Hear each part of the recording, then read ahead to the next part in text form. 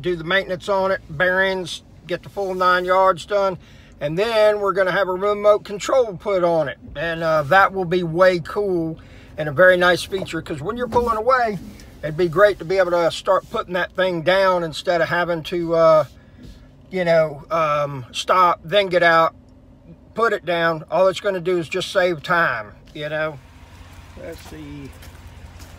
Old backup camera is pretty cool, works well and everything like that. This has got the big jack. I'm gonna end up getting this one taken off and uh, get one of those hydraulic jacks put on here.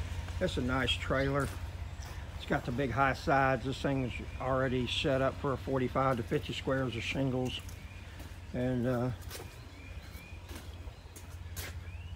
as you can see, there's not a whole lot in there. We'll go ahead and put the tarp on it. Be safe going down the road. We don't want any ticket from the DOT. So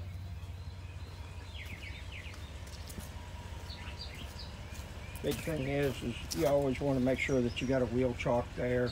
You know, you just never know. I mean, they're throwing hundreds of pounds of materials in here at any given time, and it could just decide to cut loose. I back them up on inclines, and so you got to make you got chocks on there so that every time that uh, they throw something in there, it doesn't go down or out or something of that nature and whatnot. But you know, you just need to be careful with what you're doing. Use some common sense when you hook to your trailer always make sure you do a double look, okay? And what I mean by that is you check, make sure your hitch is locked, your safety chains are attached right there, your breakaway cable is attached, and then your lights are hooked up, okay? Go ahead, you walk around your trailer, I've already done that twice, but then come back here, look again, start from the bottom up. Safety chains are done. You come up to your hitch, come over here. Yep, that's locked in place. Safety pins on there. Next thing, okay, my lights are plugged in and everything, I'm good to go. The foot from your jack is off of the That means we're ready to roll. However, if you'll notice in the video, I haven't pulled the wheel chocks. I did that on purpose so that I'd walk around the trailer one more time. We also got to put the tarp on it to be totally ready to go. All right, now what we're gonna do is we got this rope that's tied onto our bar right here. This bar right here floats on these sides on top. You throw the rope all the way to the end, you go around, you're gonna pull it to you, and it's gonna go whoop all the way to the end there, and we'll lock her down. There we go. We'll be able to grab that. See, this is how we end up with it. Then you take this, you just walk it on back. Boom, there you have it.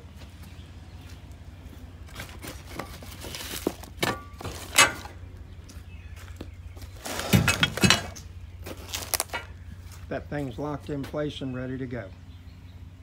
You always want to make sure, take your rope. We'll put it right up in here. We got the rope stowed away right there. It's underneath your hooks on each end. We'll come over here. Put your lock in there. Boom, it gets tight.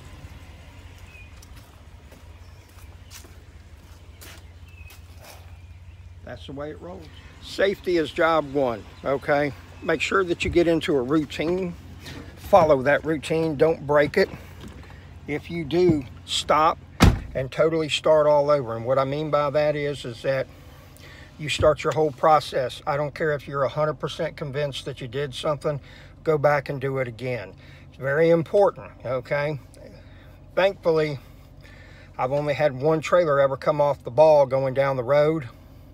It was because, I can't say for sure, but I'm willing to bet that I did not lock it down like I was supposed to. Went through an intersection that was had some dips to it because of the opposing lanes that I was crossing. I think it hopped off of there. Thank God I had the safety chains on. We were able to pull over, get everything situated. Nobody got hurt, nothing got destroyed or anything of that nature. However, it could have been catastrophic, okay? You always make sure you walk around that trailer twice so that everything is good to go. Check and double check. And also remember that if you have somebody else with you and they hook your trailer up, you are responsible regardless of if they did it or not. So if anybody's riding with me, I always double check them. I do the same thing. It's never that I believe they're incompetent or I don't trust them. It's just my responsibility. And if I did not do that, somebody makes a mistake and I kill your kids, are you going to sit there and accept, well, you know, I didn't want him to feel like uh, I didn't trust him or he wasn't competent, so I didn't go back and check his work? Nah, you're going to be like you're an idiot. You're the driver. You're responsible. You are legally accountable for anything that happens with your vehicle. Don't ever forget that.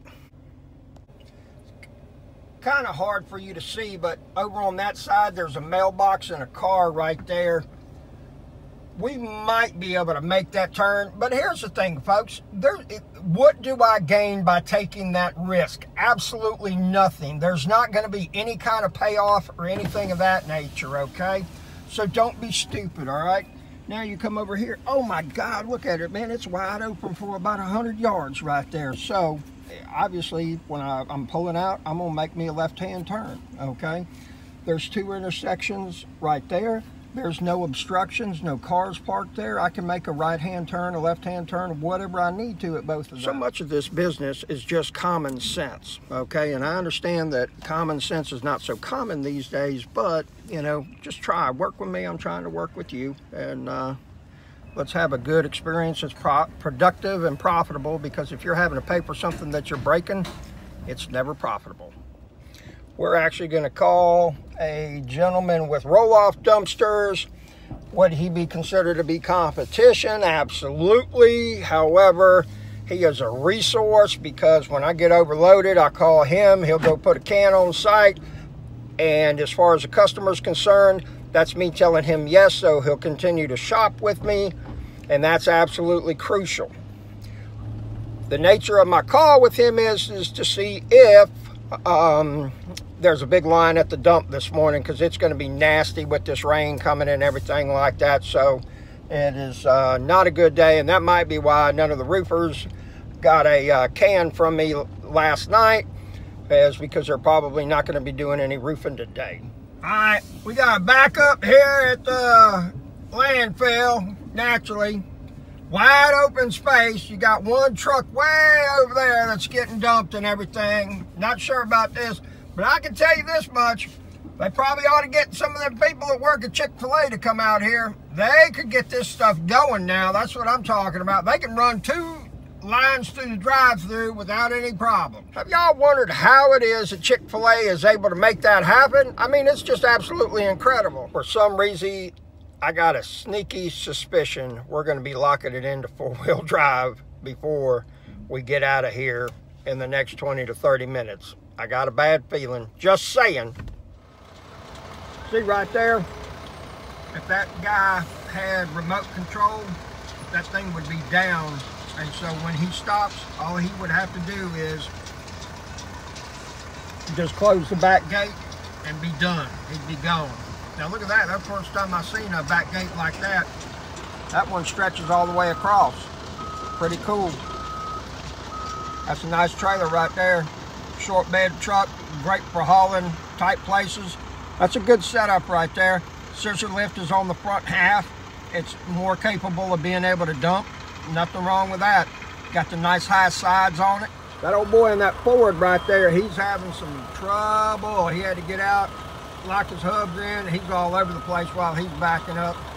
I don't know if that's his driving or if it's just rough right now, but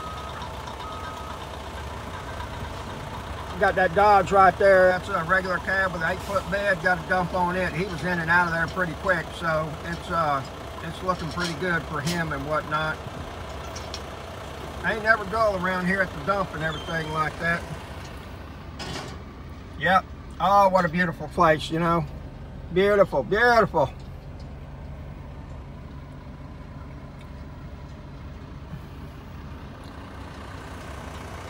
Got that old boy's unlocking that four-wheel drive.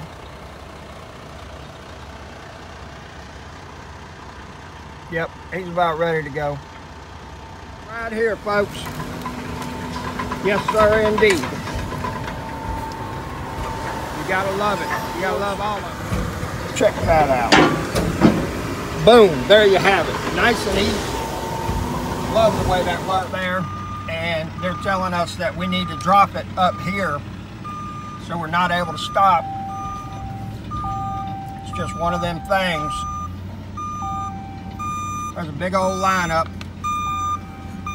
Well, the good thing is we did not have to lock it in four-wheel drive. And uh, so we are about to pull up right here, stop, put it down, fasten the gates, go in here, get this here controller.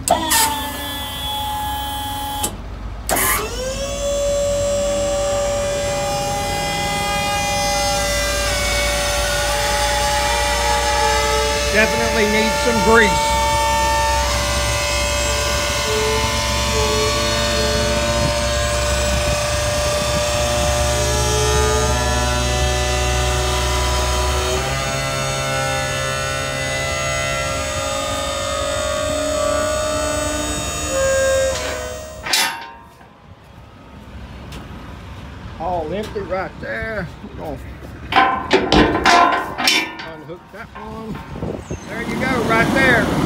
Ready to ride. We're gonna get out of here.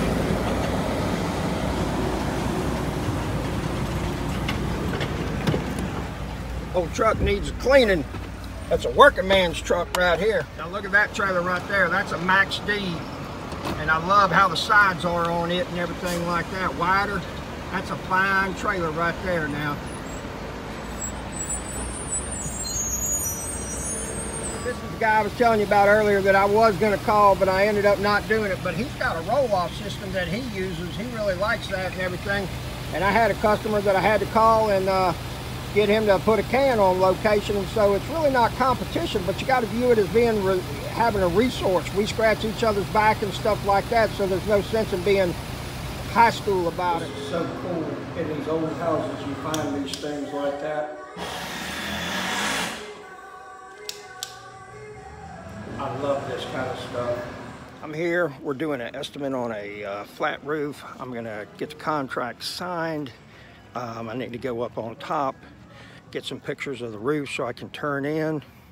Uh, you know, this is all before 10.30 a.m. this morning All right, fat boy came up that ladder right there. We gotta love that stack right there. That's totally incorrect. We are just going to be replacing the flat roof right here.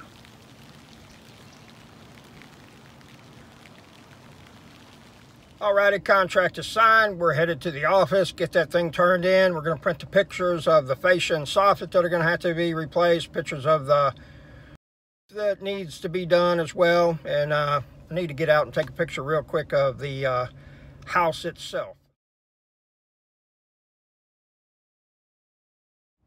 Well, got uh, handed uh, four W-2, or not W-2s, but uh, no, five 1099s from a gentleman that I work with. And uh, he said, Rob, you got the most out of anybody. I said, well, I must be special. He said, you're right, you are. And uh, I don't know if that's like the special cousin or special in a good way, but that means we did make some money. And uh, so it is what it is. And, uh, you know, you got to pay the tax man. Caesar bringeth and Caesar taketh. And you don't ever want to get mixed up with the IRS. So I always suggest make sure you pay them taxes. And there you have it. We got the line up at the yard. No, these are not all mine. These three are mine. Fourth one is at the shop getting maintenance done and some backup lights installed. All right, we went and collected rent. Now we're going to drop off a compressor and just a tip for you. If you got rental properties and they call you and say, hey, I got the rent, you make sure you go as soon as possible, okay? You would not believe the amount of things that can happen from the time they call you till you actually get that rent, and God forbid you wait hours, okay? You would not believe that the crack man can come by, the Buddy Byright uh, TV Center can come by, the uh, new Air Jordans can come by. You know, the list goes on and on. So you want to make sure you go collect that rent What's the name of the game? Get that money.